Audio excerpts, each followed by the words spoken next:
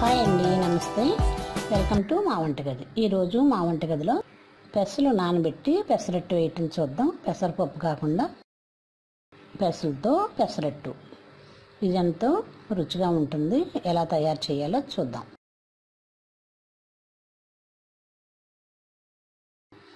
ముందుగా ఒక కప్పు పెసలు తీసుకున్నాను. ఇవి పెసలు. దీనిలో ఒక టేబుల్ స్పూన్ బియ్యం కూడా వేసి రెండు మూడు సార్లు శుభ్రంగా కడిగి నీళ్ళు పోసి ఒక నాలుగు గంటలు నానబెడదాం. శుభ్రంగా రెండు మూడు సార్లు నీట్గా కడిగి మళ్ళీ నీళ్ళు పోసి ఒక నాలుగు గంటలు నానబెట్టి పక్కన పెడదాం.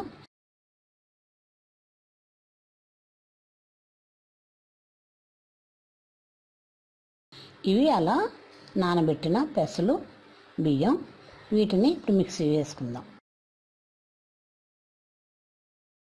ఇప్పుడు మిక్సీ జార్ ఒకటి తీసుకొని దానిలో మనం ఒక నాలుగు గంటలు నానబెట్టిన పెసలు బియ్యాన్ని వేసి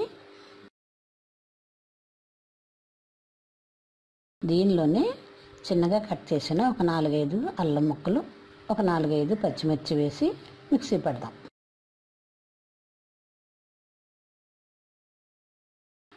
ఇది అలా మిక్సీ చేయగా వచ్చిన పెసల మిశ్రమం. ఇప్పుడు దీనిలో ఒక అర గ్లాసు వాటర్ వేసి మరోసారి మిక్సీ చేద్దాం. ఇప్పుడు పెసరట్టు వేయడానికి పెసరపిండి రెడీ అయింది ఇప్పుడు దీన్ని వేరే బౌల్లో తీసుకుందాం. వేరే గిన్నెలోకి ఇలా రెడీ అయిన పెసరపిండిని తీసుకొని దీనిలో రుచికి తగినంత ఉప్పు కూడా వేసి బాగా కలిపి పెసరట్టు వేద్దాం. మీకు అస్తికగా ఉంది అనుకుంటే కొద్దిగా నీళ్ళు కలుపుకోవచ్చు. ఇప్పుడు స్టవ్పై అట్ల రేకుని వేడి చేసుకొని దీనిలో మనం ముందుగా ప్రిపేర్ చేసుకున్న పిండిని ఒక లోతుగా ఉండే గట్టి తీసుకొని దాంతో ఇలా పెసరట్లా వేసుకొని చుట్టూ కొద్దిగా ఆయిల్ వేసి రెండు వైపులా దోరగా కాల్చుకుందాం. ఇది ప్లెయిన్ పెసరట్టు. ఇప్పుడు దీన్ని ఇలా రెండు వైపులా బాగా కాలిని పెసరట్టుని తీసి ఒక ప్లేట్లో వేసుకుందాం. ఇది ప్లెయిన్ పెసరట్టు. ఇప్పుడు మరోసారి ఇప్పుడు ఉల్లి ఉల్లిపాయలు జీలకర్ర వేసి వేద్దాం. మరొక గరిటె పిండి తీసుకొని కాలుతున్న అట్ల రేకుపై వేసి రౌండ్గా స్ప్రెడ్ చేద్దాం.